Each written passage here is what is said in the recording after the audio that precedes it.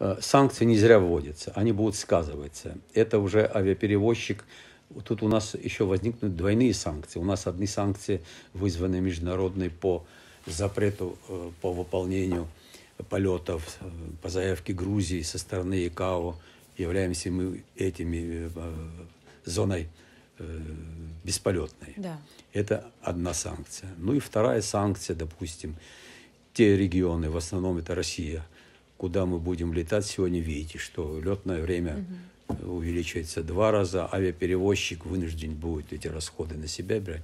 Санкции не вводились бы никогда, если бы они не влияли бы на экономику.